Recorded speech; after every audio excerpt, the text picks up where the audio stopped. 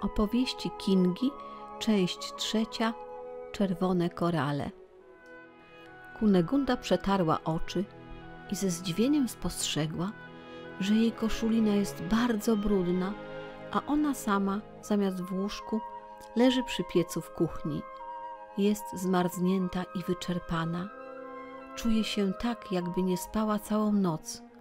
Wszystko ją boli i nie może sobie przypomnieć, co się wydarzyło. Jakim cudem znalazła się przy piecu i co tam robi? Głowę miała ciężką, jak worek ziemniaków. Nagle jej wzrok zatrzymał się nad czymś czerwonym, co wystawało spod jej koszuli. To nie może być prawda! krzyknęła. Ale skąd się tu wzięły te czerwone trzewiki? zapytała samą siebie.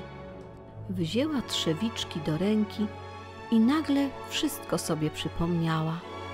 A więc to prawda, że poznałam króla Jana III Sobieskiego. Jestem jeszcze mała, ale nigdy nie zapomnę tego, co mi się przydarzyło i bardzo bym chciała więcej wiedzieć i dobrze się uczyć. Może jak pójdę do szkoły i nauczę się pisać i czytać, to dowiem się, jakie były dalsze losy króla i królowej. On tak bardzo ją kochał i nazywał najpiękniejszą Marysieńką, westchnęła dziewczynka. Ciekawe, jak wyglądało ich spotkanie po bitwie pod Wiedniem. Rozmarzyła się i przytuliła do siebie ofiarowane przez króla trzewiczki. Raptem coś zawirowało, zaszeleściło i wszystko otoczyła gęsta mgła. Potem jakiś tuman kurzu, błota i śniegu sypnął dziewczynce w twarz. Co się dzieje? Dlaczego moja noga jest cała we krwi? Boli, bardzo boli, jęknęła Kinga. Zrobiło jej się ciemno przed oczami i już nic nie widziała i nie słyszała. Nie wiadomo, jak długo to trwało i co dalej się działo, ale kiedy Kunegunda się ocknęła, zauważyła, że jakaś postać w habicie się jej przygląda. Jak się czujesz, dziecko? zapytała siostra. Boli mnie głowa i noga, odpowiedziała dziewczynka. Nic dziwnego, tak cię poturbowali, że to cud, że żyjesz, stwierdziła.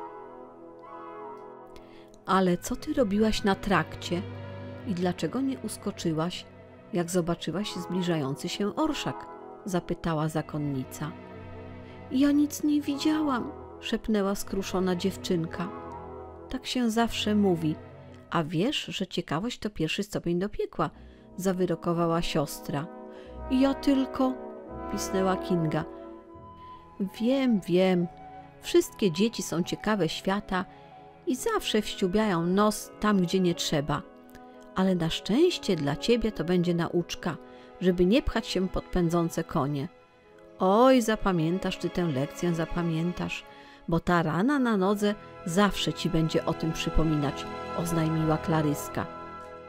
No, a teraz leż spokojnie, a ja przyniosę ci coś dobrego do zjedzenia. Zakręciła się na pięcie i zniknęła za ciężkimi, masywnymi drzwiami. Co to za izba? Nigdy wcześniej takiej nie widziałam. Dom murowany, wysokie pomieszczenia.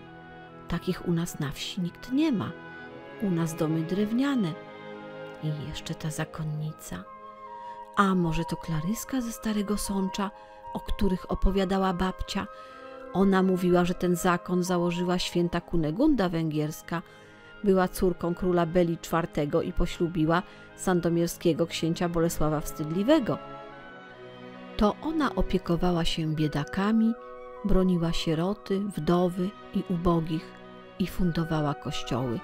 E, tak, to może być klasztor, bo wszystko tu jest takie surowe i ascetyczne. Mury są grube i zimne, trochę przerażają, pomyślała Kinga. Jej rozmyślania przerwał zgrzyt otwieranych drzwi. Pojawiła się w nich uśmiechnięta twarz młodej siostry zakonnej, która już poprzednio tu była. Tym razem niosła tacę z jakimiś wiktuałami. Kunegunda dopiero teraz zdała sobie sprawę z tego, że jest bardzo głodna. Czas na posiłek, jaśnie panienko, zakpiła siostrzyczka. A jak panience na imię, jeśli wolno spytać? powiedziała zakonnica. Na chrzcie dano mi Kunegunda, odrzekła dziewczynka. Bardzo ładnie, a to chyba nie przypadek, że święta gości w swych progach swoją imienniczkę, zawyrokowała siostra. To ja już wiem, że jestem w Starym Sączu, a ty jesteś Klaryska, stwierdziła śmiało dziewczynka. Patrzcie no, takie to maleństwo, a jakie rezolutne, ho, ho, powiedziała z wesołością w głosie siostra. No, zajadaj ze smakiem, a tu masz ode mnie jabłuszko. Mówiąc to pogładziła dziewczynkę po zmierzwionych włosach. A jak siostrzyczka ma na imię? zapytała Kinga, zajadając ze smakiem chlebek z masłem i miodem. Hortensja to moje zakonne imię, ale od chrztu Katarzyna, przyznała siostra. Bardzo ładne, a to od chrztu to zupełnie jak moja mamusia, wykrztusiła Kinga. Ciekawe, co by powiedziała mamusia, gdyby wiedziała, co robi jej niesforna córeczka, przygadała siostra. Nie wiem, bo jej nie pytałam, odpowiedziała Kinga i obie dziewczyny parsknęły gromkim śmiechem. Nie mam pojęcia, Kunegundo, jaka gwiazda cię do nas sprowadziła, ale jesteś zabawna zupełnie tak jak moja młodsza siostra.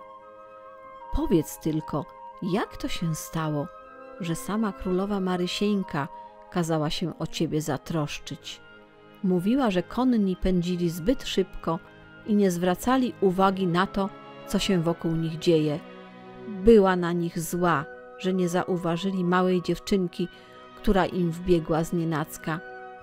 Sama zatrzymała się, żeby sprawdzić, czy jeszcze dychasz, a potem okryła cię własnym płaszczem i kazała wieść do klasztoru.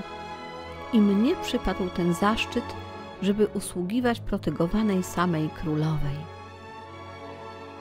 Czy Zali to prawda? Sama królowa Marysieńka się o mnie martwi? Ze łzami w oczach powiedziała dziewczynka.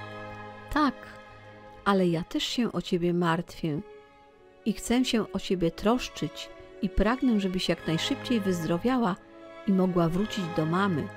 Dziękuję, siostrzyczko Hortensio. Bardzo cię pokochałam i zawsze będziesz moją najlepszą przyjaciółką, powiedziała mała.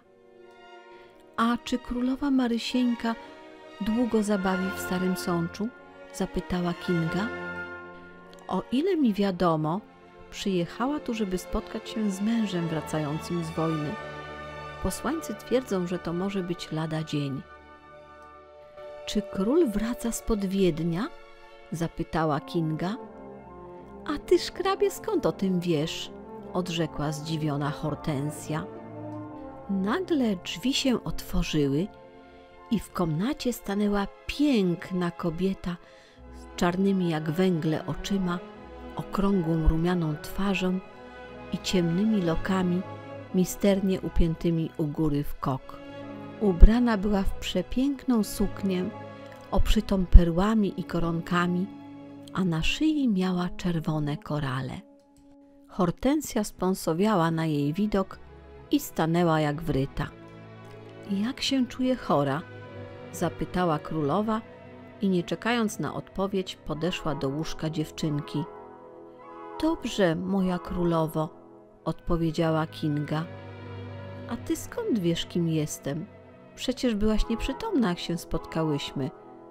Wyraziła zdziwienie Marysieńka. Tylko ty, pani, możesz być tak piękna, że wieści o twej urodzie docierają na krańce świata, a Osmanowie boją się ciebie nie mniej niż twojego małżonka Jana Sobieskiego, powiedziała zauroczona urodą królowej dziewczynka. Królowa patrzyła na małą i nie mogła uwierzyć, skąd u takiego dziecka tyle mądrości i tajemniczości. Wracaj szybko do zdrowia i niech cię święta Kinga, twoja patronka, strzeże od złego i prowadzi drogą miłości i wiary. To mówiąc, królowa zdjęła z szyi swoje czerwone korale i podarowała je dziewczynce. Nazajutrz nikt nie widział, jak Kinga schowana za budynek kościoła świętej Elżbiety Węgierskiej w Starym Sączu obserwowała dziwną parę. Piękną, elegancko ubraną kobietę i silnego, przystojnego mężczyznę, klęczącego u stóp niewiasty i składającego namiętne pocałunki na jej dłoniach. Wzruszona Kunegunda ściskała w dłoniach czerwone korale i czuła ciepło rozchodzące się od czerwonych trzewików.